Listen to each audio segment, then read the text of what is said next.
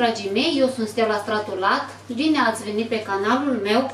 Suntem acum în sezonul dovlecelului și am vrut să vin cu o rețetă de, cu dovlecel. Deci am gătit o tocăniță pentru iarnă, care se poate consuma în sezonul rece, dar puteți să o consumați și acum, deci este tocăniță de dovlecel. Haideți să vedeți cum se gătește această tocăniță, cum am conservat-o, deci urmează pașii. Începem rețeta cu ceapa, ceapa am curățat-o, două cepe mari, vom pregăti această rețetă dintr-un kilogram de dovleac, deci dovlecelul este rege în această rețetă, deci ne bazăm de la dovleac, începem să facem rețeta cu următoarele produse, legume. Deci eu în vas am pus deja ulei în care vom găti această tocăniță, am pus să se încălzească. Și între timp vom toca ceapa o tocăm nu foarte, foarte mărunt.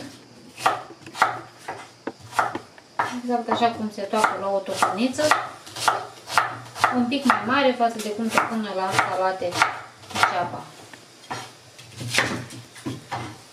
Cum vedeți am două cepe mari. Vă zic exact ce gramaj au. Deci dacă jumătate are 100 de grame, 200 de grame, deci asta era un pic mai mică, deci cam 300 de grame de ceapă adăugând la un kilogram de doblean.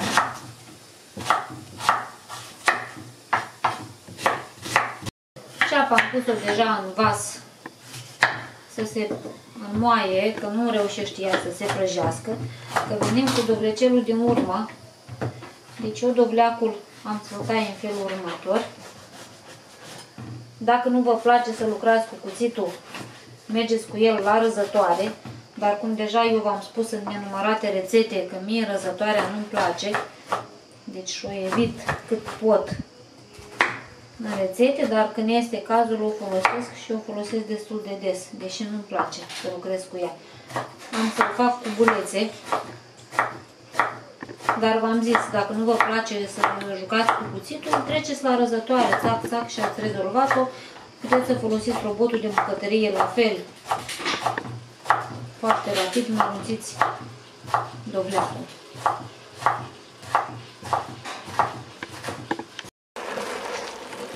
Și acum amestecăm și lăsăm un pic până se topește mai binișor dovlecelul. Dacă adăugăm un kilogram de dovlecel, roșii folosim 500 de grame, deci jumate din cantitatea de dovleac. Roșiile se pun în tocăniță de dovlecel. Roșiile se adaugă în această tocăniță pentru conservant. Roșiile sunt un acid, sunt acide, știți bine, așa, și aduc un pic de gust acrișor, Dovle, dovlecelul fiind dulceag așa la gust.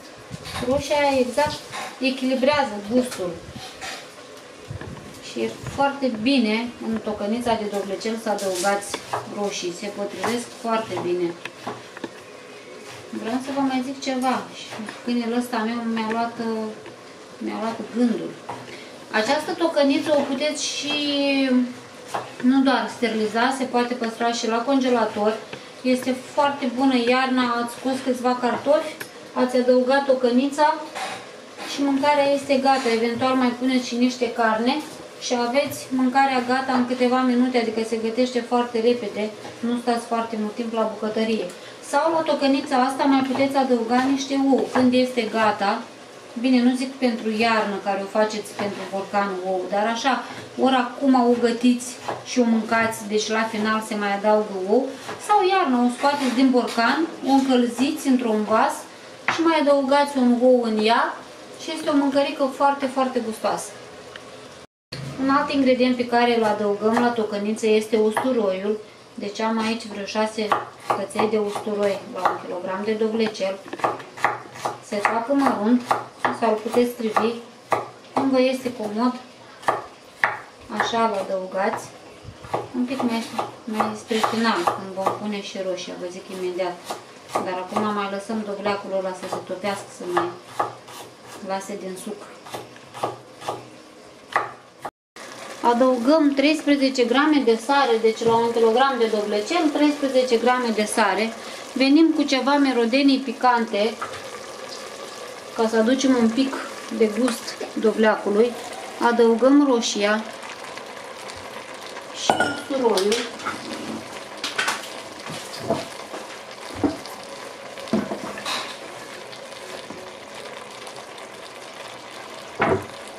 Deci dovlecelul fără usturoi este cam greu de consumat.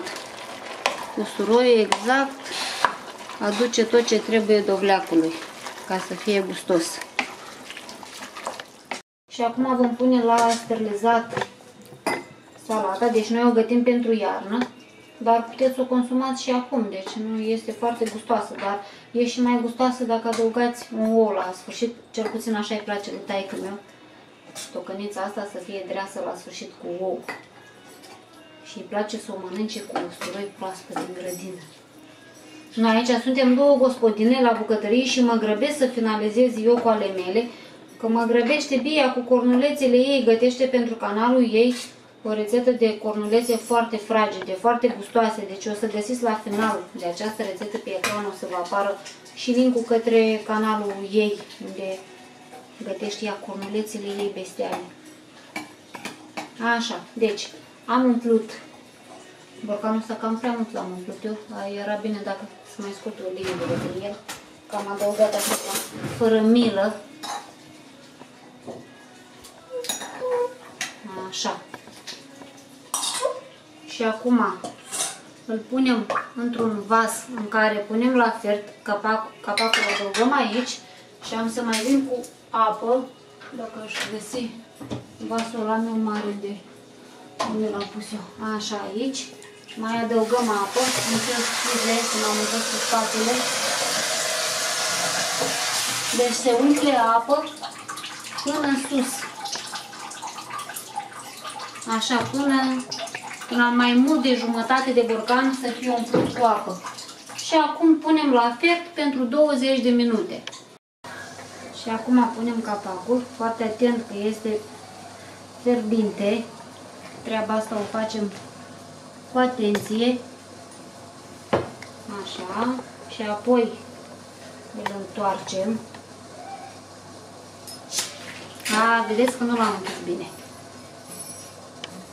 A fost un borcan care mi-a dat dureri de cap. Nu vrea să se închidă. Așa. L-am închis până la urmă. Și acum se acoperă ceva cald și se lasă așa până dimineață. Vă mulțumesc, dragilor, că ați fost cu noi și de această dată și vă aștept și la alte rețete de ale mele.